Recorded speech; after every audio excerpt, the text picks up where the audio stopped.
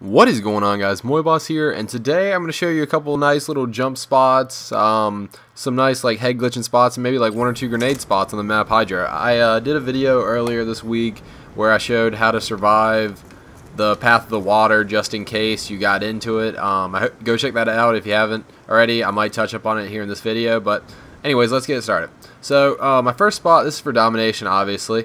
Uh, if the enemy's coming from the left side, you just kind of stand on this pillar, you have a nice little spot. It's hard to shoot at you from this. It's a really good defensive spot, and you'll get a lot of kills when enemies are just sprinting in trying to get it. Obviously, you're weaker on your backside, but hey. Um, the next thing I have for you is a nice little spot. I love this spot. It's It kind of evens the ground between the high ground over there at B, and then also if people are wanting to run around really quick. I usually use the silencer, so they don't really know I'm in this spot. But uh, as you can see, if there's somebody up here at this top ledge just shooting down on the people, really causing a lot of havoc, you can get up here, have a nice little head glitch, get them. Uh, you can shoot them. I know they that is one of their spawns where they run up right there. So you can also pick people off if you have like an AR or something. And um, also if they just run around. I mean, you can. They don't really expect you to be up on this thing. Most time I crouch down like this, and it, it's pretty good just for that. But yeah. The only downside to this is, as you'll see in a minute, you can get up right there on the opposite side and you're kind of sticking out and you're exposed and you're also exposed right there if they're running up and you're not paying attention or something. But yeah, uh, that one's definitely a spot to use when just kind of defending B-Dom. A lot of people like to hide in that little crevice.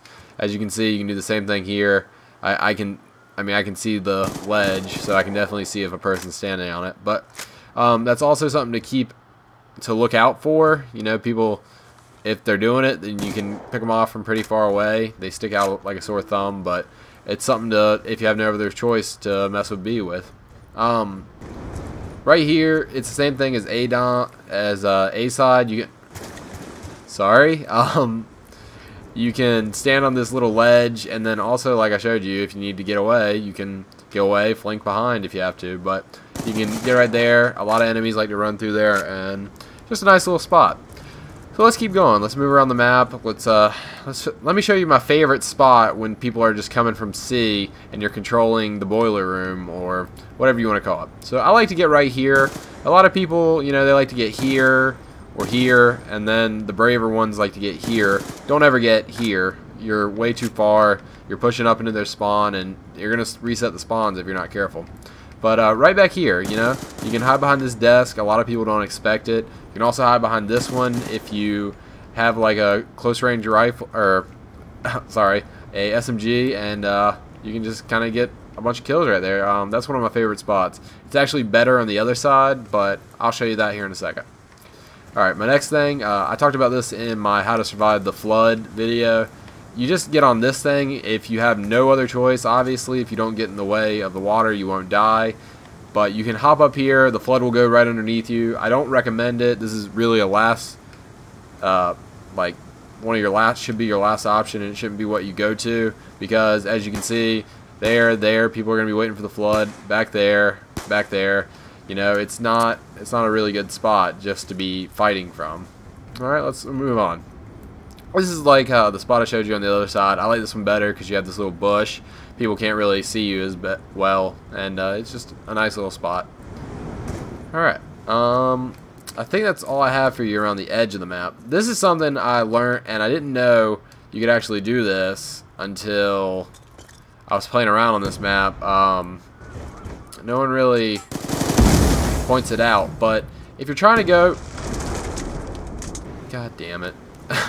if you're trying to go from uh, control room to like say there's somebody camping in uh, bridge 34 and you know they're probably got a bouncing Betty Claymore one side and they're watching the other because you know where they are. Uh, one tip that I have for you is just run up on the front of the car and don't miss the jump like me. Jesus Christ, what is going on? I'm going full retard today. And then hop right up here and get the nice little surprise on them. It's pretty useful. Uh, you can do this both sides. You, as you can see, there's a car down on that side. And it'll just kind of make your life a lot easier. It, it, definitely gives you some more options instead of just going around to the sides or most of the time if you get to this point they're spawning right there and they're all staring you down and you don't really have a chance so definitely take that up. Don't miss. Um, get a nice little flank and do your thing. And uh, also I have a grenade spot. This is uh, probably like my favorite grenade spot. If you come up around the side you know somebody's in this building. Somehow you've snuck past them what you can do is you can take a grenade and you can throw it right through these windows. You can't throw through that part of the glass, but if you get in the crack, you can throw it there. And if you're really talented, you can bank it off there and hit in there. But um, this applies to both sides. It's pretty useful, if I say so. Uh, like I said, if somebody's camping in there and you just don't have any other option. And um, one more thing, this is pretty cool.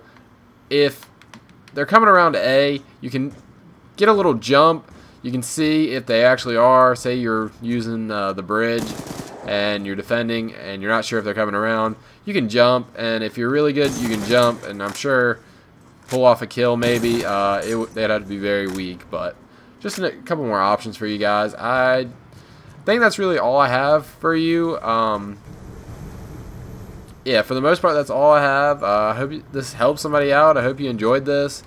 And uh, if you did, don't forget to like and subscribe and comment. Let me know uh, what map you might want to see next, or if there is a map you, if you enjoyed this or whatever. But um, hope you get this help somebody out.